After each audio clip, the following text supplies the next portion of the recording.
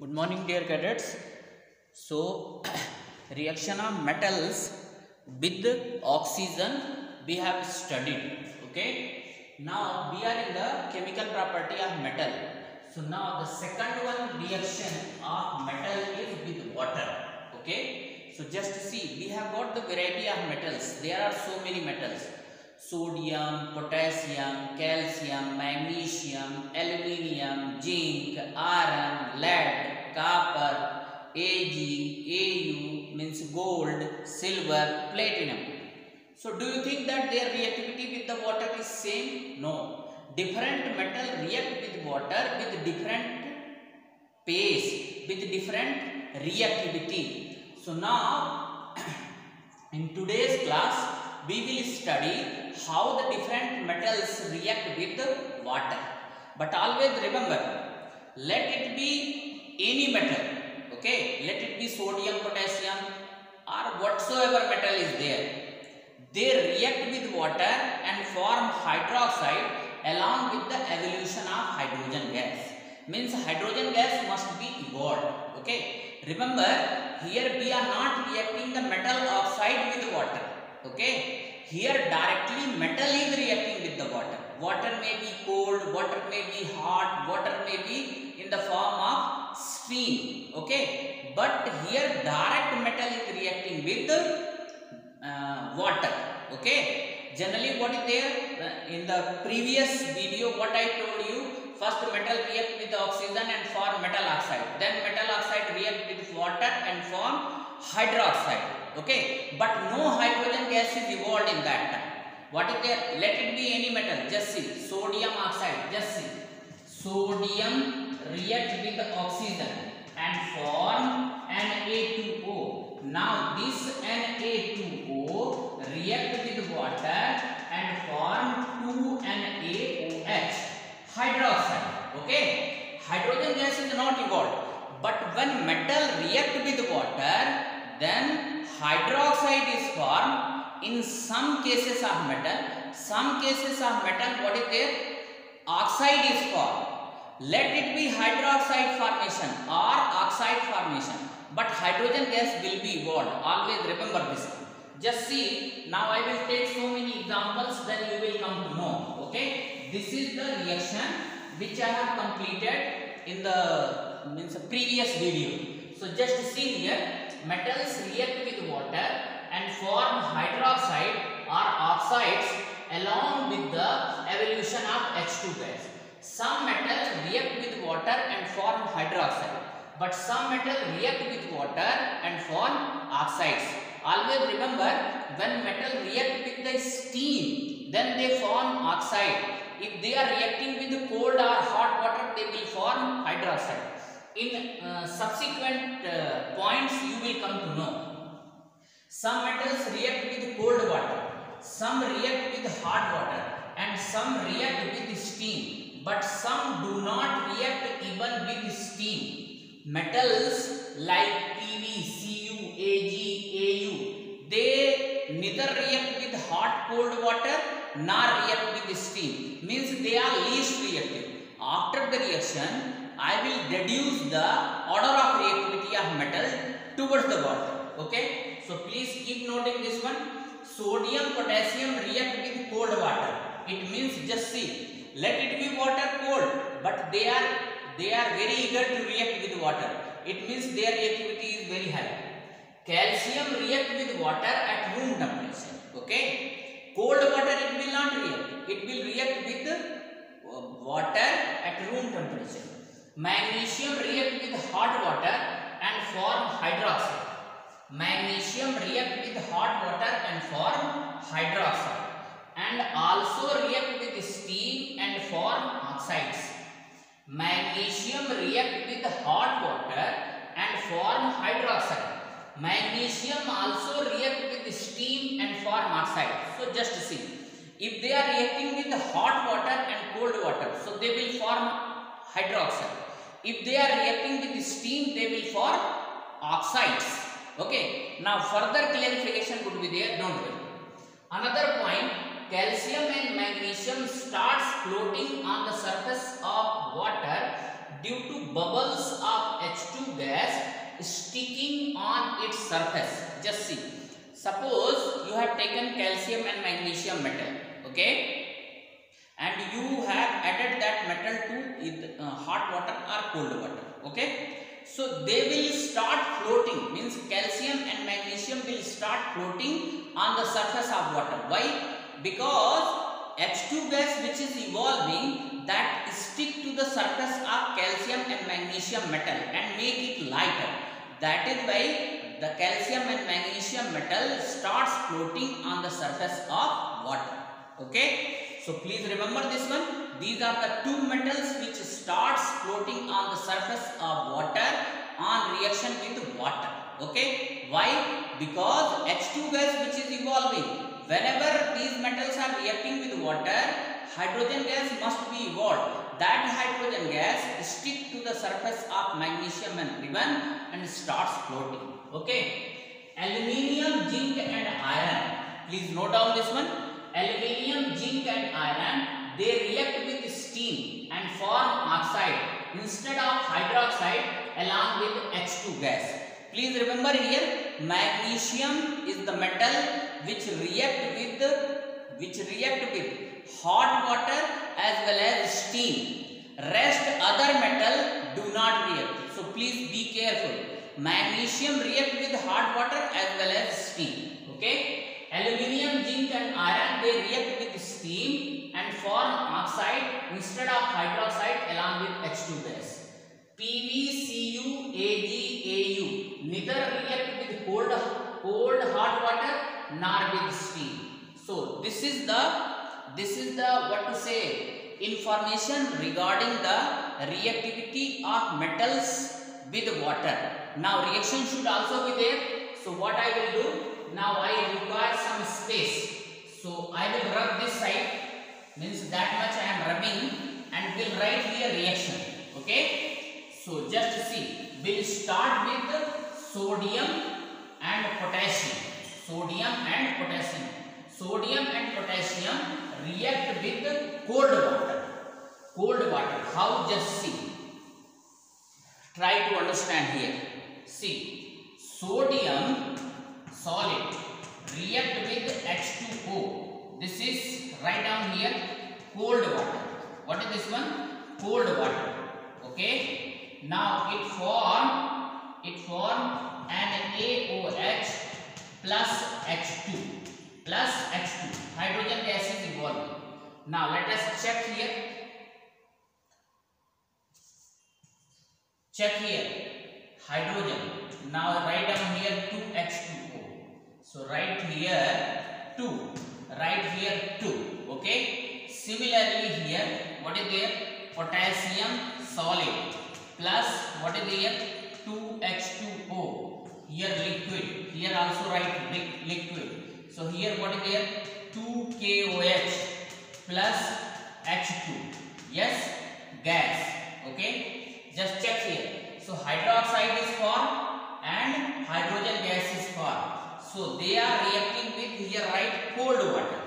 They are reacting with cold water. Okay. Now next one is magnesium. What is the next one? Magnesium. Calcium. Sorry. Calcium. Calcium react with water at room temperature. So write down here calcium solid plus H2O. So this is CaOH whole twice plus H2 gas. H2 gas. Okay. So it is reacting with please balance the reaction. So write down here 2. Okay. Everything is balanced. Now this is reacting with water at room room temperature at room temperature okay now this hydrogen only is sticking on the surface of this one calcium metal in the reaction mixture. That is why calcium starts floating on water. Okay? So please remember this one. Magnesium so this is reacting at room temperature. Write down here. Room temperature. Okay? Which one? Calcium. Now see another one. Magnesium. Magnesium. Magnesium mg solid plus H2O. Okay. Now what kind of water this one? Hot water. Hot water. Okay. So here what is there? MgOH whole twice plus H2. Magnesium hydroxide. What is this one? Magnesium hydroxide. Okay. Hot water. Hot water. Magnesium react with steam water also. Just steam. Magnesium solid plus H2O. Write down here steam. So here what is there? MgOH whole twice. Sorry. MgO MgO plus H2 gas. Okay. So just check here reaction. Yes, it is balanced. Mag so magnesium when it react with hydro means hot water, it is it is forming magnesium hydroxide and hydrogen gas. But when it react with steam, so it form only magnesium oxide. Here also this hydrogen gas stick to the surface of this magnesium metal. That is why magnesium also starts floating over the water. Magnesium starts floating over the water. And now just see, with these metal, with these metal means sodium, potassium, calcium and magnesium. What you can do? You can take one beaker. What is there? Beaker. Now in that beaker, you may take cold water, you may take cold water or hot water. Now just add small quantity of metal and after addition of metal, immediately cover the mouth of beaker with glass wool so that nothing can be splashed out. Okay. Then what you will see that hydrogen gas is evolving and sometime beaker become very hot. Always remember the hydrogen is a highly inflammable gas especially in case of sodium and potassium. This evolved hydrogen may catch fire also. It may catch fire. This is the only reason that is why sodium and potassium is stored in the kerosene. Kerosene because if outside you will keep in the air moisture is there they will react with the moisture water and they will evolve hydrogen gas which may catch fire very easily. This is the only reason that is why sodium and potassium is stored in the kerosene. Okay. Now just see reaction of aluminium, zinc and iron with steam. Okay. So just write down here with steam. With steam. Okay. So see just see one by one. First aluminium plus H2O. Here what is there? Steam. Okay. So here what is it? What is here? Al2O3 plus H2 gas. Okay. This is aluminium oxide. Now make the reaction. Just see. this is 2 aluminium. This is 3H2O. This is 3H2. Okay. Reaction is balanced. Next one is zinc. Zinc plus H2O. Steam only. What is this one? Steam. So what is the product here? The product is ZnO plus H2. Okay. Hydrogen gas. Okay. Let the reaction is balanced or not? Yes, reaction is balanced. This is zinc oxide. This is aluminium oxide. Now iron. Fe here solid. This is also solid. Fe solid plus H2O. What is here? Steam. So here what is the product here? Fe2O3 plus H2. Okay? Fe2O3 H2. Write down here 3. Write down here 2. Write down here 3. Okay? So just see. When magnesium, aluminium, zinc and iron react with steam, so they are forming oxide. But in all the cases, hydrogen is common. All the cases, hydrogen is common. So on the basis of this one, we can we can write the order of reactivity of metals. Order of reactivity of metals. Just see. What is the order of reactivity of metal? And just see. PVCU. Neither react with cold water nor react with steam. So just see. order of reactivity of metal order of reactivity of order of reactivity of different metal different different metals with different metals with water okay so just see the reactivity okay first one is potassium then sodium then calcium then magnesium then aluminium then zinc then iron then what is there pb then cu then ag then au this is the order of reactivity of different metals different metals with different metals with water.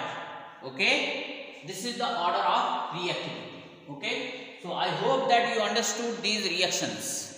Okay? So just please remember this one. Anyone can be asked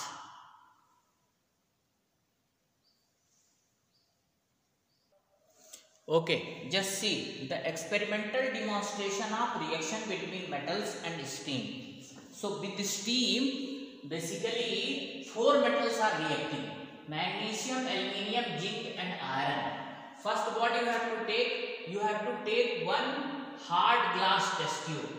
And at the center of this one, what you should take? You should take here metal sample. So metal sample means you can take zinc, you can take aluminium or iron or magnesium.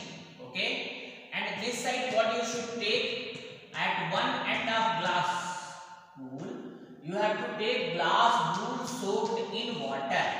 Glass wool soaked in water. Now here what is there? Now burner you have to take. What you have to take? Burner. So when you burn this one, then water vapor will form. What will form? Water vapor. This water vapor will go towards this side. Okay. And they will come into contact of this metal sample which you have taken. Either one metal you can take. Magnesium, aluminium, zinc or iron. Okay. So that those reaction will be taken place which I have completed just now. Now hydrogen gas will be produced. H2 gas will be produced here after the reaction. Okay. This H2 gas with this pipe. This is the pipe. What is this one? Pipe. Okay. It will come here. Now what is this one? This is trough. What is this one? Trough. Okay. Here what you have taken? Water. Okay. Now this is inverted test tube. What is this one? Inverted test tube. So this hydrogen gas will come here in the water. Means uh, water. And now it bubbles will come here in the test tube. Inverted test tube. Um, now try to understand. Here also water is there. But these bubbles are going up. Means this hydrogen gas bubbles they are displacing the water down and getting collected at above. It means H2 gas is collected collected by downwards displacement of water.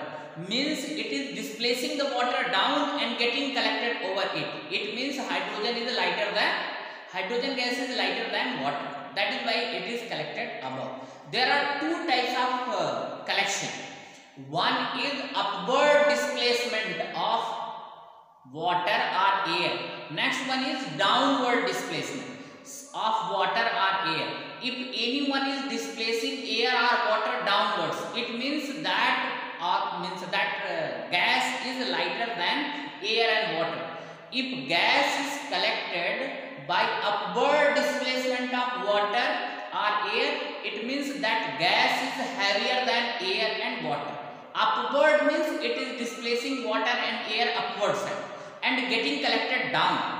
Downward displacement means it is displacing water and air downwards and getting collected over it. Okay. So it means it is lighter than. Okay. So this is the experimental demonstration of reaction between metal and steam. okay in this way the reaction of different metals with water steam cold water hot water and steam is over now reaction of different metal with dilute acids.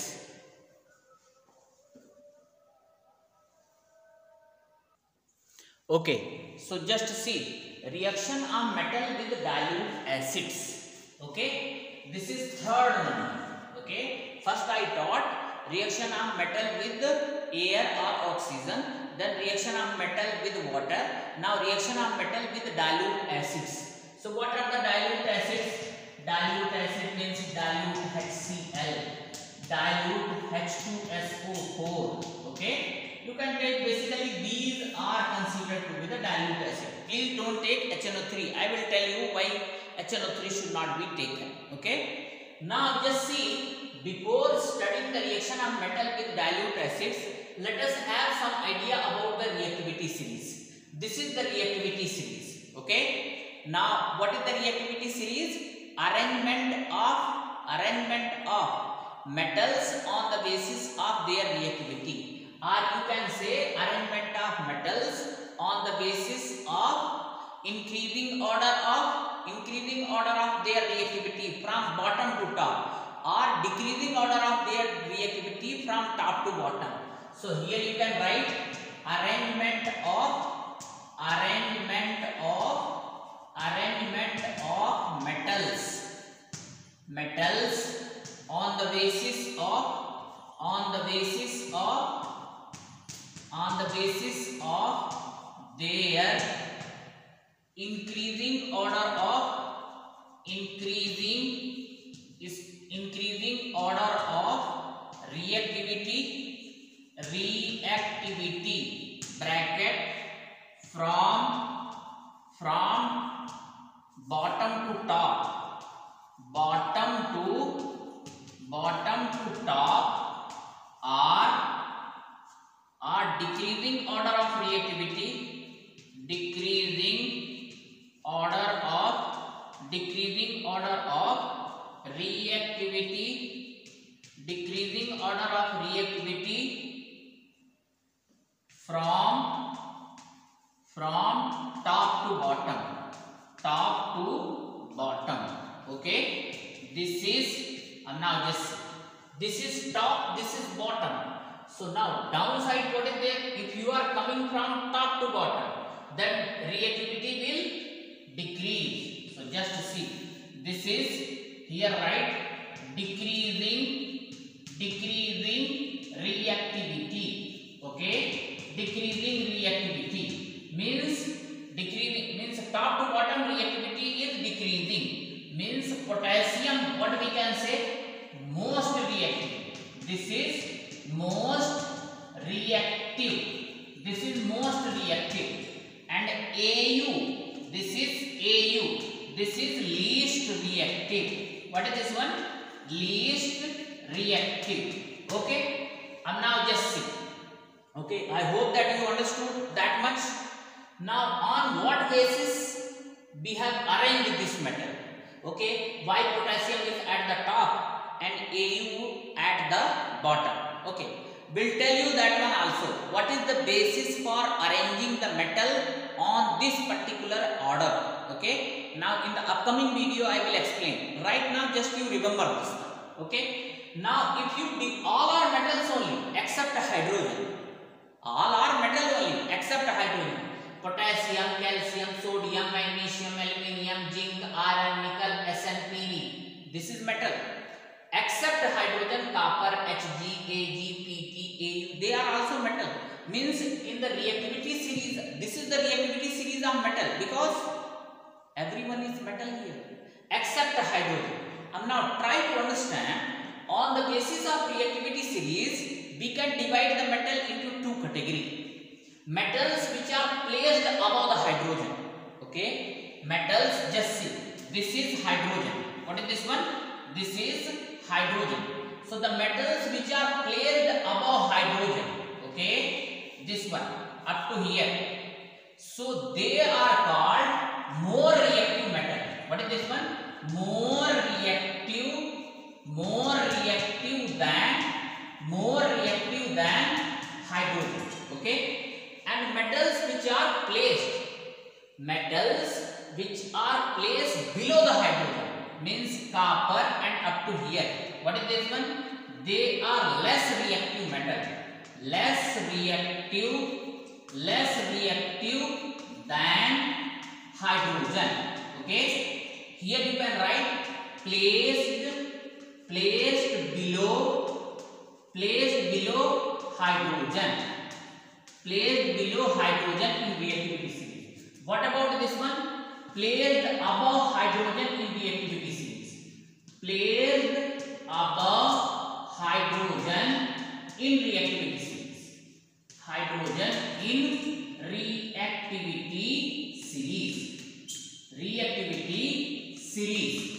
Okay? Placed above hydrogen in reactivity series just. So two category of metals is there one which are placed above the hydrogen so 1 2 3 4 5 6 7 8 9 10 means potassium to lead these are called more reactive metals they are placed above the hydrogen that is why they are more reactive than hydrogen and metals like copper hg ag pt and au these are less reactive metals than hydrogen because they are placed below the hydrogen um, now just see what is our topic our topic is reaction of metal with dilute acids so these metals react with dilute acids in different way okay how metals which are placed above the hydrogen in reactivity series they react with just write here they react with dilute acid they react with dilute dilute acids dilute acids means HCl HCl H2SO4 dilute only don't take concentrate okay they react with dilute acids and displace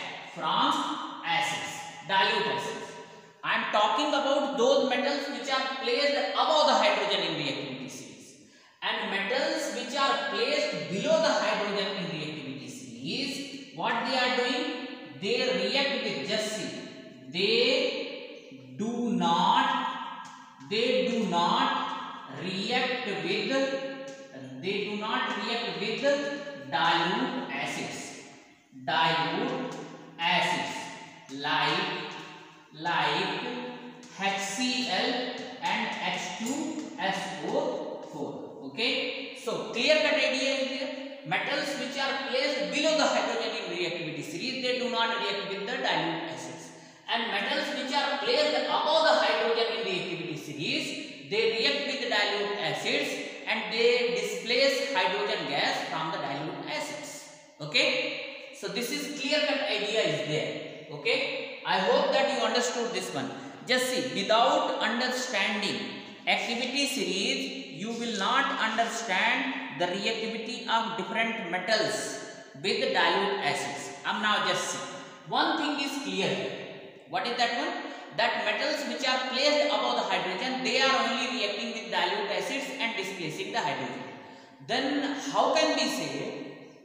Means simple question is there. Do all metals react with the same vigorness with the dilute acids? Or or they react different vigorness that is the question mark okay? But one thing is clear that metals which are placed above the hydrogen they react with they react with. They react with dilute acids and displace hydrogen gas okay? But their vigorness with the means metal reaction with dilute acid is different. Means their reactivity towards the dilute acid is different okay? Some metal very vigorously they react some metal little bit slow. So how they are how different metals are reacting with dilute acids i will explain i will explain tomorrow okay? Today just uh, means i am running short of time so we'll complete tomorrow this one. Thank you.